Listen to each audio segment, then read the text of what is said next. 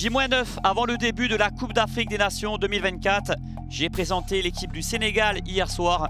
Maintenant, place à une autre sélection que je connais bien, que je suis énormément. C'est l'Algérie qui a gagné l'édition 2019, également celle de 1990, c'était à domicile. Alors est-ce que ça va être la troisième étoile pour les guerriers du désert? En tout cas, pour moi, ils font partie du top 5 des favoris. Je vais m'expliquer pourquoi, quelles sont leurs forces, leurs faiblesses également. La liste de Belmadi, qu'est-ce que j'en pense? Quelle est l'équipe type que le coach doit mettre en place? J'en ai un peu parlé à Belmadi, que j'ai rencontré, euh, comme vous le voyez, juste à côté de moi. Et quels seront les jokers importants que le sélectionneur utilisera au cours de la compétition? Les joueurs qui peuvent gagner leur place de titulaire, parce que oui, Belmadi n'a pas son 11 type de défini encore, malgré une reconstruction hein, depuis ce fameux match contre le Cameroun en mars 2022.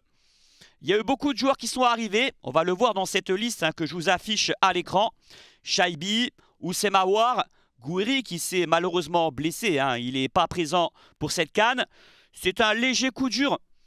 Même si pour moi il n'aurait pas été titulaire et qu'il est encore trop tôt pour le juger, ça, aurait été une première pour lui. Il ne connaît pas ces matchs typiquement africains. Il a été cinq fois titulaire lors des cinq précédents matchs, mais c'était surtout pour le tester avant tout. Et ça n'a pas été une grande réussite. On ne sent pas encore Amiguri intégré. Et de toute façon, je ne pense pas que le coach et moi-même, je ne l'aurais pas mis titulaire dans ce 11 de départ. Alors, on va déjà commencer par la liste de Jamel Belmadi. Quels sont les grands absents? Je pense au petit euh, qui fait une super saison, un meneur de jeu, qui a des caractéristiques un petit peu similaires à Amoura, Bien qu'Amoura soit un peu plus polyvalent et aussi supérieur à lui, il hein, faut le dire, mais Kadri, c'est un joueur qui aurait pu être appelé. Il doit être bien déçu, c'est un meneur de jeu très petit de la taille qu'on avait vu contre l'Iran, souvenez-vous, quelques mois après le match contre le Cameroun. D'ailleurs, ça a été un des meilleurs matchs de l'Algérie en mode reconstruction depuis euh, deux saisons. Il y avait eu la victoire et la manière ce jour-là avec beaucoup de turnover. Je me rappelle même Rachid Ghezal était titulaire sur le flanc droit. Il avait été très remuant. Ghezal, hein, d'ailleurs, qui n'a pas été appelé. Bon, il est plus tout jeune, il ne fait pas une superbe saison. Et puis il y a une concurrence de plus en plus rude. Hein. On peut penser à Saïd Benrama, qui n'a jamais saisi sa chance en équipe nationale depuis euh, presque 4 ans. Il a marqué un seul but, il me semble, c'était contre une équipe euh, assez faible en plus. Pas un match référence. Et un joueur qui a eu quelques soucis avec Belmadi, hein. sa sortie euh, contre l'Égypte n'est pas anodine, il n'a pas voulu vraiment serrer la main du coach. Belmadi, ça lui a pas plu. Et puis côté gauche, hein, il y a du monde. Hein. Il y a Amoura, il y a Belaïli. Il y a aussi Yassine Brahimi qui n'a pas été sélectionné. Là aussi, c'est peut-être pour un, une espèce de froid avec Jamel Belmadi suite à des déclarations après le match contre le Cameroun. Il s'était exprimé auprès de la télévision égyptienne en disant euh, que ce n'était pas un vol plus que ça. Alors que pour moi, effectivement, bon, et pour tout le monde, hein, si on est un peu objectif contre le Cameroun, l'Algérie aurait dû passer 150 fois avec un arbitrage normal. Mais bon, on va plus en reparler. Ça a été euh, assez évoqué fut un temps. Le peuple algérien a envie de tourner la page. Et quoi de mieux qu'une compétition comme la Cannes pour montrer que l'Algérie est au niveau des meilleures équipes africaines? Parce qu'il y a deux discours qu'on entend sur l'Algérie. Certains disent qu'ils sont en reconstruction, ce qui est vrai, il y a des nouveaux joueurs. Et d'autres disent ce qui s'est passé contre le Cameroun, ça ne doit pas être un trompe-l'œil. Ça a été un vol ce jour-là, mais à cette période, l'Algérie faisait partie des meilleures équipes africaines, voire était la meilleure. Champion d'Afrique, tenant du titre, invaincu depuis 35 euh, matchs, hein, quasiment. Il y a eu la Cannes 2022, certes, qui a été ratée juste avant. Mauvaise préparation, euh, manque d'efficacité lors des deux premiers matchs. Et contre la Côte d'Ivoire, ça a été un match par contre totalement raté où l'Algérie a bien déçu. Donc faut pas se tromper. Peut-être qu'on enterre trop l'Algérie quand je dis oh, hein, c'est pas moi, mais quand j'entends un petit peu le discours global des médias, des supporters, l'Algérie n'est pas top 3 des favoris dans cette canne. Je dis pas le contraire, mais ils sont au moins top 5, et largement. Du point de vue de la qualité de l'effectif, c'est le meilleur milieu de terrain en Afrique. C'est le plus complet en tout cas. Parce qu'il y a aussi celui de la Côte d'Ivoire, qui est très qualitatif. Hein, Sangaré, Fofana, c'est énorme. Mais vous allez voir un petit peu tout à l'heure le banc des remplaçants de l'Algérie dans l'entrejeu. Belmadi va avoir du souci à se faire pour constituer un 11 au départ. Non, c'est le meilleur milieu de terrain d'Afrique, l'Algérie. En termes de quantité et de qualité, il n'y a pas mieux, objectivement. C'est une équipe offensive, parce qu'ils vont jouer en 4-3-3, certainement. Ça m'étonnerait que Belmadi chamboule tout, et pas dans une défense à 3 un autre système. Hein.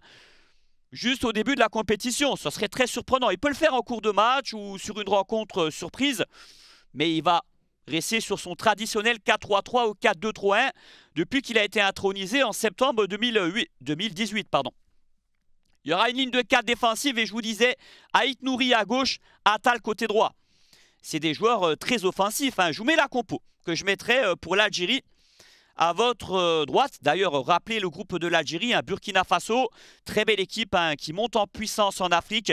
Des joueurs très techniques que l'Algérie a affronté en novembre 2021. C'était une double confrontation pour se qualifier à la Coupe du Monde et ça a été très serré. Hein. Je me rappelle du match retour à Blida l'Algérie tremblait jusqu'au bout pour euh, se qualifier. Ça s'est joué sur un but d'écart. Mais voilà mon 11 de départ que j'alignerai pour la Coupe d'Afrique. Mandrea dans les buts.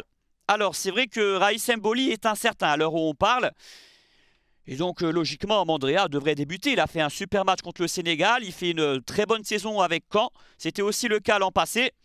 C'est un jeune gardien qui va prendre la relève de Raïs Mboli dans les années futures. Enfin, elle vient cette relève, hein, parce que elle se fut attendre.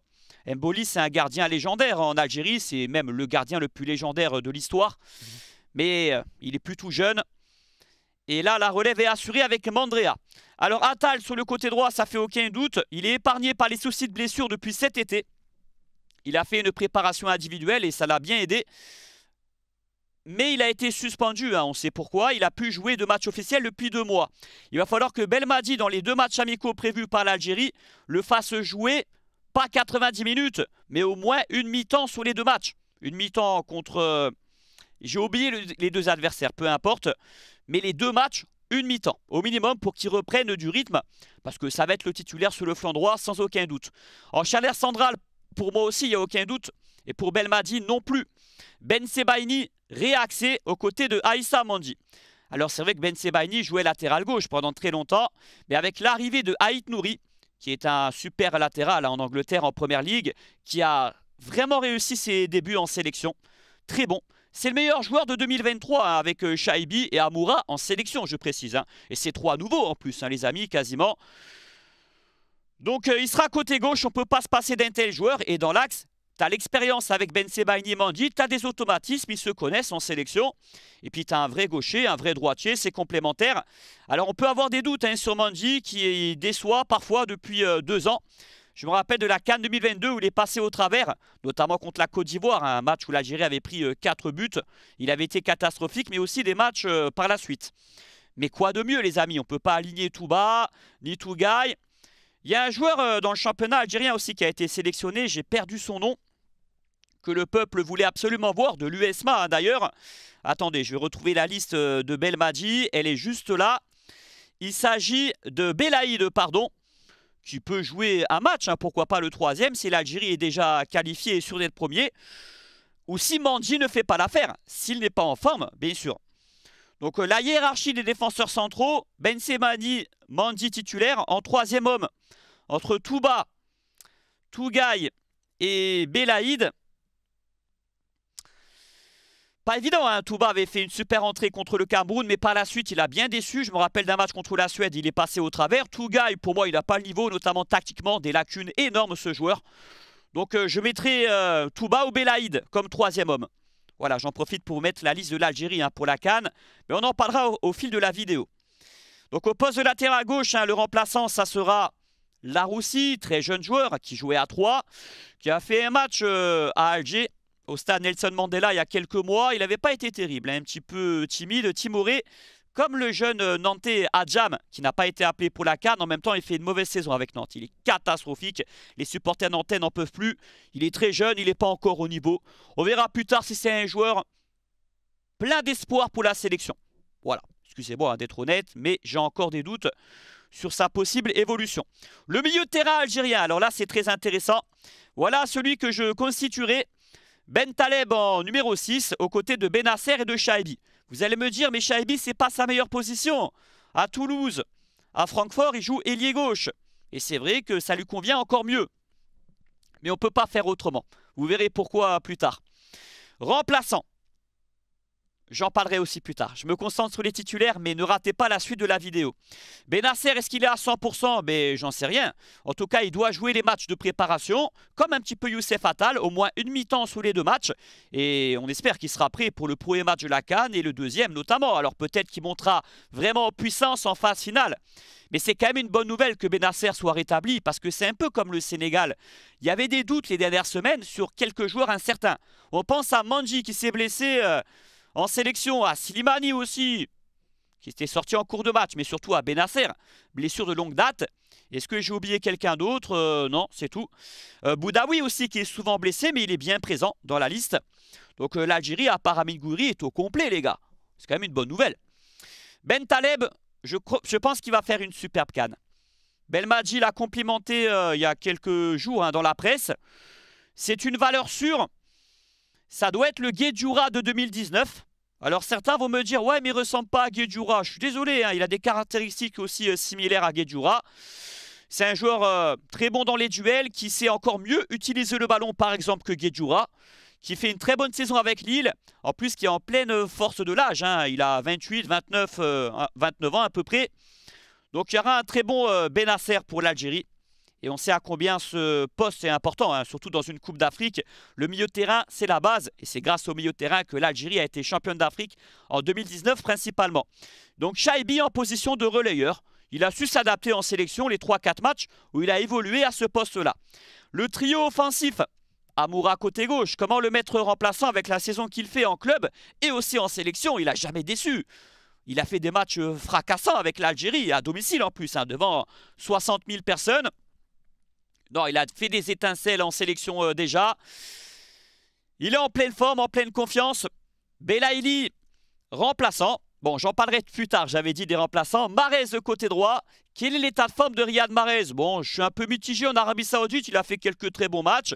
Après, c'est vrai que quand on regarde de plus près ses prestations, ses dribbles, ses enchaînements, ses euh, courses individuelles avec le ballon, il est un peu moins incisif, hein, un peu moins agile qu'il y a quelques années. Ça, c'est vrai. Et puis en sélection, Mahrez, bien qu'il reste décisif hein, de temps en temps sur une passe, euh, notamment euh, dans, le dernier geste, il est assez éteint pendant 90 minutes, mais ça, ça fait un moment qu'on en parle. Quoi qu'il en soit, il doit débuter dans le 11 de départ, évidemment. En attaque, on a deux possibilités avec ma compo, c'est Slimani et Bounedja uniquement. Blebendi n'a pas voulu appeler euh, quelqu'un d'autre euh, avec la blessure de Gouiri. Il aurait pu appeler Benrama à côté gauche et replacer Amoura dans l'axe. Mais il fait bien quand même de laisser Amoura côté gauche parce que dans l'axe, il est polyvalent, hein. il peut pourquoi, pas évoluer, mais en tant que et demi, que faux neuf, à côté d'un vrai avant-centre. Et encore moins dans une Coupe d'Afrique, jouer seul en pointe, c'est presque suicidaire vu son gabarit. Alors oui, il tournerait autour euh, de tout le monde, mais c'est pas comme ça qu'il faut jouer. Il faut jouer avec des attaquants déjà qui pèsent sous les défenses, qui permettent aux ailiers comme Amoura, comme Marez, voire un numéro 10, un créateur, de profiter des espaces que vont libérer des Slimani et Bounedja. C'est des joueurs qui se ressemblent un peu, qui pressent beaucoup les défenseurs adverses, qui courent euh, tout le temps, hein, ça on ne peut pas le reprocher, et qui ont une expérience africaine indéniable. Je répète, Amin Gouri n'aurait pas été titulaire dans cette canne, dans le 11 de départ, j'en suis certain. Donc qui choisir entre Slimani et Bounedja? Bon, Bounedja a fait une bonne saison, hein, vraiment, il est inspiré, il a marqué beaucoup de buts dans le championnat qatari, des beaux buts. Il est un peu plus renard des surfaces que Slimani, après, je dirais que Slimani est un peu plus complet. Encore meilleur de la tête, encore meilleur dans le pressing. Hein. Ils ont à peu près le même âge. Hein. Je crois que Slimani est encore plus âgé. Et puis Slimani, c'est un joueur qui déçoit rarement. Du moins, s'il rate un match, le prochain, il marquera. Il réagit toujours. Jamais il fait deux matchs euh, consécutivement en étant mauvais. À moins euh, d'un passé euh, très lointain. Au début en sélection, c'est vrai, où il était très critiqué, c'est vrai. Et je dirais à la Cannes 2017, où Slimani avait raté cette compétition, il n'a pas été bon. Donc maintenant, on va passer au Joker. Et là, ça va être intéressant. Vous verrez que dans toutes les sélections africaines que je vais présenter, l'Algérie, c'est là où je mets le plus de remplaçants qui peuvent être potentiellement titulaires. Donc c'est une qualité, c'est un compliment. Il y a un groupe très élargi. Au milieu de terrain et en attaque. Je suis désolé, en défense, il n'y a personne qui peut postuler. À part peut-être euh, Belaïd à la place de Manji. Et encore, quand tu vois les quatre de derrière, c'est euh, indéboulonnable. Dans l'entrejeu, Zerouki à la place de Ben Taleb. qui fait une belle saison 2023 avec l'Algérie, hein, vraiment. Et puis en club aussi, ça se passe bien avec euh, le PSV, il joue la Ligue des Champions. Mais Ben Taleb, c'est plus fort pour moi, c'est plus adapté pour jouer une Coupe d'Afrique que Zeroki, qui est encore un jeune joueur en sélection, hein, qui est arrivé il y a deux ans et demi, trois ans, qui a parfois déçu dans des matchs typiquement africains, justement. Je crois contre la Côte d'Ivoire, il est passé au travers. D'ailleurs, il, y a deux ans pendant la Cannes. Il fait partie des grosses déceptions. Il vaut mieux mettre euh, Ben Taleb. Après, euh, en relayeur, Boudaoui, Aouar et Fegouli, hein, que je n'ai pas notifié. Ces trois joueurs peuvent prétendre à une place de titulaire. À la place de Benasser, s'il n'est pas à 100%, ou à la place de Shaibi, dans le cas où il remonte côté gauche. Ou même si Shaibi déçoit, hein, ou Semawar, avec l'AS Roma, ne joue pas beaucoup en sélection. Il a fait une très bonne performance à domicile où il marque un lob hein, ce jour-là. À domicile, euh, c'était à Alger. Euh, non, pardon, c'était pas Alger, c'est Constantine, je crois. Mais il y a aussi des prestations un peu en demi-teinte. Est-ce que Aouar est prêt pour jouer des matchs euh, lors d'une canne On peut se poser la question. C'est peut-être un peu, un peu tôt. Alors, c'est pas un jeune joueur, hein, il a déjà 25 ans. Mais je pense qu'il y a plus fort que lui à cette position. Et Boudaoui. Alors, que penser de Boudaoui en sélection? Vous vous rappelez de ce joueur? Il était là à la Cannes 2019 hein, déjà. Il avait même joué un match titulaire de poule, le troisième. On a été souvent déçus de Boudaoui dans l'ensemble. Parce qu'il n'arrive pas à s'intégrer au milieu de terrain, il n'arrive pas à intégrer les consignes de Belmadji, et il n'arrive pas à s'intégrer à l'équipe nationale tout simplement. J'allais dire, dans une moindre mesure, c'est un petit peu comme Saïd Benrama.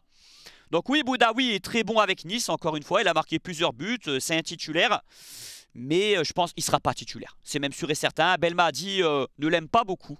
On se souvient, il privilégiait beaucoup Zeroki et surtout Zorgan, hein, fut un temps. Bon, là, il n'est pas appelé Zorgan et c'est normal. Hein, il a tant déçu en sélection avec toutes les chances qui lui étaient accordées. Mais ouais, Belmadi n'est pas fan euh, de Boudaoui. Et pour parler de Fegouli, il avait fait un très bon match contre le Sénégal. Après, il a fortement déçu hein, en qualif Coupe du Monde à l'extérieur contre le Mozambique. Et d'ailleurs, il me semble que Boudaoui fait une super entrée en fin de match contre le Mozambique et qu'il avait marqué quelques points. J'en suis même quasiment sûr. En attaque, Belaïli côté gauche. On sait qu'il joue au Mouloudia d'Alger cette année. C'est un joueur en sélection qui a apporté beaucoup de choses depuis, euh, depuis 4 ans, hein, depuis que Belmadi a été intronisé, il ne faut pas l'oublier. Après, il faut aussi évoluer dans le foot. Hein. Il y a des joueurs où il faut savoir tourner la page. C'est clair et net. L'Algérie l'a déjà payé cher lors de la Cannes 2022. Donc ça doit être un Joker Belaïli. Et ça peut être une bonne chose pour lui parce qu'il va rentrer en cours de jeu surmotivé. Lui, il euh, porte le maillot algérien en assumant la pression. Il porte euh, ses couronnesses. Il n'a pas peur. Donc il est capable de faire des différences. Il est capable d'apporter énormément dans cette canne. Après, il ne peut pas jouer ailleurs. Hein. C'est un ailier gauche, point barre. Il ne joue pas dans l'axe, il ne joue pas côté droit. Donc euh, il rentrera en cours de match et je le ferai rentrer d'ailleurs assez tôt dans une rencontre, à l'heure de jeu, etc. pour voir ce que ça va donner. En tout cas, il a l'air d'accepter ce statut de remplaçant. Il est souriant à l'entraînement. Il savait aussi hein, qu'il était euh, menacé dans cette liste, qu'il allait peut-être pas être appelé. Il y a eu des débats sur lui depuis un an.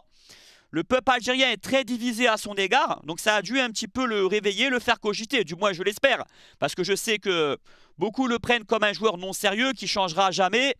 Bon, ça, c'est en club, hein, notamment en Europe. Il y a eu beaucoup d'échecs, et pas qu'en Europe. Ou du moins, son potentiel n'a pas été exploité, on peut le dire. Hein. C'est catastrophique les passages qu'il a eu dans certains clubs. C'est pas le Beilali qu'on a vu en 2019, euh, par exemple. Et dans certains matchs, hein, contre le Mexique, je crois, il avait été excellent. Et contre, ouais, contre le Mexique. Ensuite, côté droit, Ounas. Ounas qui a été sélectionné, qui fait pas un, bon début de saison avec Lille. Il n'est pas titulaire, ce qui est une déception quand tu t'appelles Ounas. Il a fait quelques bonnes entrées récemment, mais j'ai aussi en tête des entrées catastrophiques. Hein. Je peux vous le confier, au stade Vélodrome, il avait été très mauvais pendant un quart d'heure, il avait tout raté. Tant mieux pour nous, remarque. Et euh, à Bollard aussi, où il perd un ballon et ensuite lance égalise dans le derby du Nord. Après, j'aime bien Ounas, et surtout en sélection, c'est un joueur qui assure, comme Belaïli. Vous vous rappelez de ses rentrées en jeu à la Cannes 2019 qui ont été dévastatrices et de certains matchs euh, récents à Oran où il avait été très bon aussi bien à droite qu'à gauche. Un match amical aussi avant la Cannes 2022 où il avait été le seul buteur contre le Ghana du match. C'est quand même logique hein, que Ouna soit appelé avec, euh, réflexion parce qu'il euh, déçoit jamais en sélection et même Le dernier match là contre le Mozambique, il est très bon en deuxième mi-temps. Ça faisait partie des coachings gagnants de Belmadi pour gagner ce match parce que c'était mal engagé en première. Donc Ounas sera le pendant de Marez. Si Marez déçoit, il peut le remplacer très tôt euh, pendant la rencontre. Très très tôt, je dis bien. Parce que même en 2019, Marez sortait en cours de match. Donc des joueurs comme Belaïli, comme Ounas, et au milieu de terrain, je vais vous dire, où c'est Mawa. S'il y a un choix, un joueur au milieu de terrain que Belmadi fera entrer en jeu en premier, entre Fegouli, Boudaoui et Awar, ça va être Awar en premier. En deuxième, Fegouli et en troisième, Boudaoui pour le coach. Et puis en attaque, il y a Bounedja aussi, hein, pour concurrencer vraiment Slimani. Alors là, c'est presque du 50-50, hein, les amis. Si Slimani se rate, et, eh ben, et puis il peut même y avoir un vrai turnover entre les deux, parce qu'ils sont plus tout jeunes, pour les faire souffler. Est-ce que Bounedja est prêt? On n'a pas la certitude non plus. Hein. Ce n'est pas le poste où l'Algérie est le mieux garni, le poste avançante.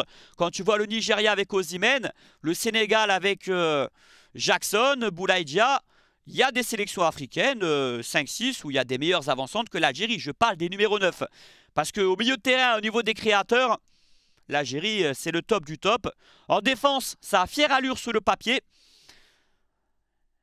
Alors, en parlant justement des, forces de l'Algérie, quelles sont les forces des Fennecs qu'on peut mettre en évidence? J'ai déjà parlé, bien sûr, du milieu de terrain, qui est le plus qualitatif et quantitatif en Afrique. Mais aussi de, des créateurs. Je parle des ailiers notamment, Amoura, Marez, Ounas, Belaïli, ça a la gueule. C'est une équipe aussi qui peut avoir euh, certains avantages parce qu'on sait qu'en Côte d'Ivoire, les pelouses, seront très bonnes. Donc c'est une bonne nouvelle hein, pour le spectacle, pour la compétition et pour une équipe joueuse comme l'Algérie. On va me dire, ouais mais Belmadi parfois il joue en transition sur certains matchs. Quoi qu'il en soit, l'Algérie reste une équipe qui ira loin avec le jeu et nous en jouant contre nature. Par exemple, si Belmadi euh, choisit de jouer à 5 défenseurs au début de la compétition ou de jouer les contre-attaques sur certains matchs, dans les grosses affiches, ce n'est pas le meilleur choix. Ce n'est pas du tout euh, le meilleur choix. Tu as un milieu de terrain très technique, un Benasser, Shaibi, euh, et puis même hein, les remplaçants, encore une fois, ils ont tous du ballon. Il faut absolument que l'Algérie prenne le jeu à son compte. Alors certes, ça peut être un piège sur certains matchs africains, mais chaque équipe joue avec ses forces. Et c'est les forces de l'Algérie d'être une équipe plutôt de possession, notamment sous l'ère Belmadi. Sous Vaïd, c'était une autre époque, ça, jouait différemment et tu n'avais pas les mêmes joueurs non plus. Alors, quelles sont les faiblesses de l'Algérie? J'ai peur que... Enfin, il n'y a pas une assise défensive euh, très bonne. C'est pas l'assurance sous risque derrière.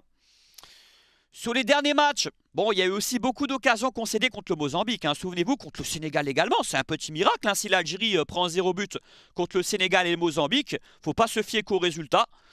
Donc euh, oui, trop d'occasions concédées récemment. Un Mandi qui n'est plus le grand Mandi. Et puis euh, le poste d'avancante, encore une fois, où tu as deux joueurs assez âgés Là, le Slimani d'il y a 3-4 ans, ça aurait été merveilleux, hein, mais bon, il est plus tout jeune, mais il est quand même capable de tenir la baraque Slimani, de marquer quelques buts, mais je ne pense pas qu'il va être régulier sous toute la compétition. Et c'est un problème.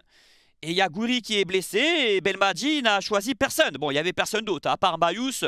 C'est vrai que ça manque de numéro 9 en Algérie depuis assez longtemps d'ailleurs, hein, les amis. Hein. depuis le grand Slimani, euh, ouais, il y a des créateurs, il y a des milieux de terrain, mais ça manque de numéro 9.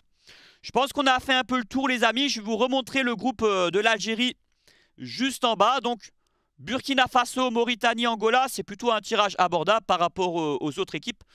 Bien que le Burkina fasse partie des... Allez, du top 15 africain et très largement, d'ailleurs ça se voit au classement FIFA, ils sont top 11 minimum.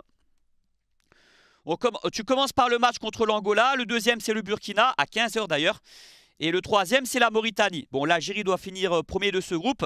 En cas de première place, ils affronteraient un troisième du groupe B, E et l'autre, je ne sais plus. Mais dans le groupe E notamment, tu as la Tunisie, l'Afrique du Sud, le Mali. Et dans le groupe D, euh, il y a l'Égypte. Ça serait une surprise que l'Égypte finisse troisième, mais on ne sait jamais.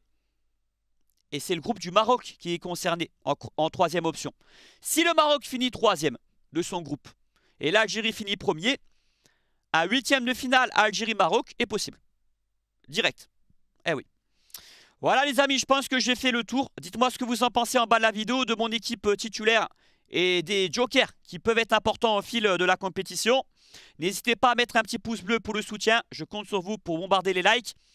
Et je vais quand même terminer la vidéo, les amis, en m'exprimant sur le débat. Est-ce qu'on doit mettre la pression ou pas sur l'Algérie? Parce que, bon, après, c'est aussi volontaire. Hein. Vaut mieux être outsider qu'être un grand favori. Les exemples récents ne manquent pas. Mais en parlant honnêtement, en étant objectif, j'ai dit au début de ma vidéo que l'Algérie faisait partie des 5 favoris de la compétition. Je le pense. C'est évident pour moi. En termes de qualité. Après, euh, pour ceux qui vont dire l'Algérie est en reconstruction, c'est vrai, il y a eu beaucoup de nouveaux joueurs. Aït Nouri, Shaibi, Awar, Amoura, c'est un nouveau. Et j'en passe quelques-uns. Mandrea. Qui vous dit que l'Algérie sera plus fort dans deux ans lors de la Cannes qui aura lieu au Maroc À part pour des raisons climatiques, hein, parce que, et puis, c'est un pays voisin, c'est vrai que ça peut être intéressant. Mais sur le papier, qui vous dit qu'il n'y aura pas trois blessés à la prochaine Cannes important? Qui vous dit qu'il y aura encore Marez qui est un peu sur la fin et peut-être qu'il sera plus appelé par le prochain coach dans deux ans? Qui vous dit qu'il y aura encore Belmadi Même si là, l'Algérie réussit sa canne? Et je vous dirai après, c'est quoi une canne réussie pour l'Algérie? Ça se passe bien, donc euh, Belmadi il continue l'aventure. Hein. L'objectif pour lui c'est d'aller à la Coupe du Monde 2026. Mais il y a un gros souci avec la fédération. Il y a un gros souci euh, qui le fait démissionner. On sait comment ça se passe. En Algérie, les choses peuvent être instables. Ça me rappelle l'OM d'ailleurs.